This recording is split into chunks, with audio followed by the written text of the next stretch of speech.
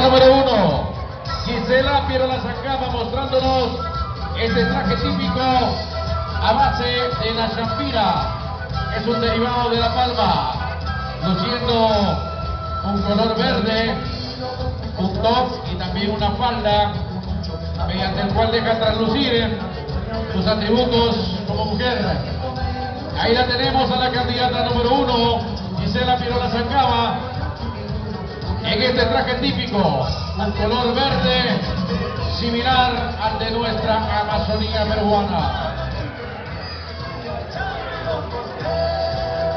El turno es para la